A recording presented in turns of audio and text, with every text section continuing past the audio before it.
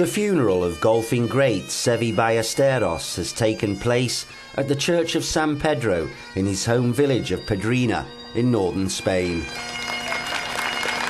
His ashes are to be scattered in the garden of his nearby house at a private ceremony. The five times major winner died at home on Saturday at the age of 54. Ballesteros had a brain tumour diagnosed in 2008 and underwent a series of operations as surgeons fought to save his life. The region of Cantabria where he lived is to hold three days of official mourning.